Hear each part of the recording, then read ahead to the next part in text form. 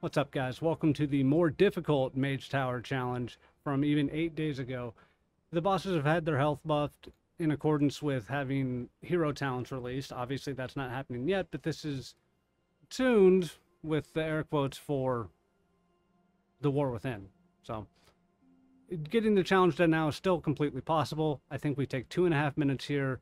I saved Incarn and Lust for Kruul, which is kind of like the, the OG strat.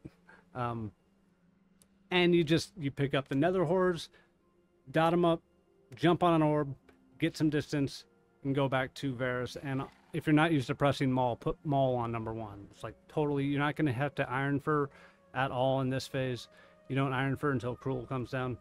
But we're just doing sets of ads and again Velen can still tank an infernal. You see that guy over there just kind of you're eventually going to rip aggro via healing threat but he'll, he'll just be there. He's fine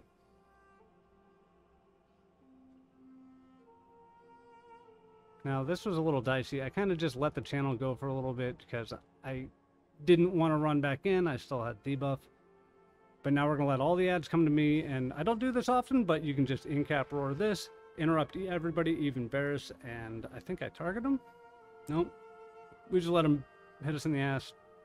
Good job. But you can see we just finished up an ad phase, so we're just going to push him now. I'm waiting for my stacks to fall so I can charge in. Or maybe it was uh, for the cast to start. But we put him down in, what was that, 90 seconds?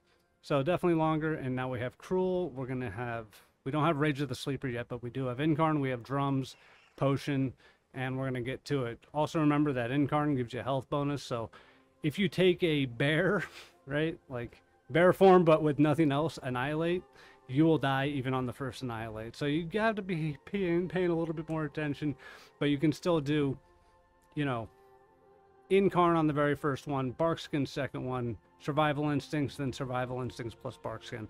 But letting myself get tossed around here a little bit, don't want to be too far away from the orb. The puddles feel a little bit more punishing. I'm not expecting the increased movement speed, I guess, but it's still the same fight. You know, you just have to do things a little bit more deliberately, and there's.